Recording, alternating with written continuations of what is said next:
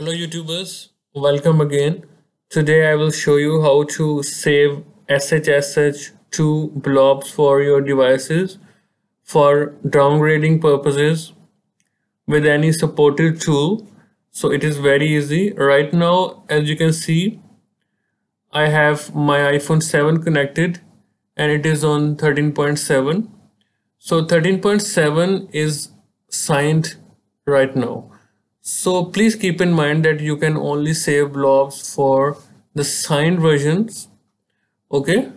So it is very easy. Just open this website that is shsh.host you will be greeted by this screen. Now it will ask you for your ECID so how do we find it? Just open iTunes. Connect your iDevice to it and then click serial number once twice and you will see your ECID right here. Just right click copy go to this website. So what's special in this website is that that you can now save blob for A12 devices and A13 devices very easily. Okay so now just copy and paste your ECID right here. Now select your device. So my device is a iPhone 7 GSM to find you can also check the model identifier in Google. Alright so that you can see that what device you are using either it is a GSM or a global model. So it is very easy to do. Orange. so my iPhone 7 GSM is right here. So right now you can select the blobs you want to save. So right now all these uh, iOS 14 beta versions and 13.7 version is currently signed so I would like to save blobs for all the versions. So hence all signed. Now just click here. And click request AP ticket.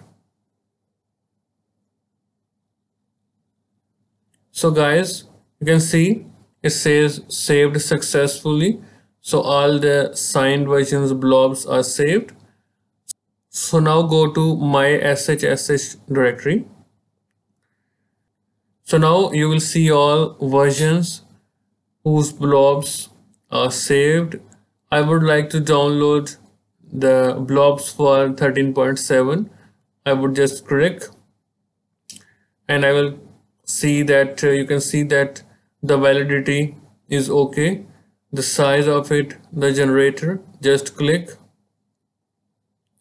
and the blob is now saved to your computer.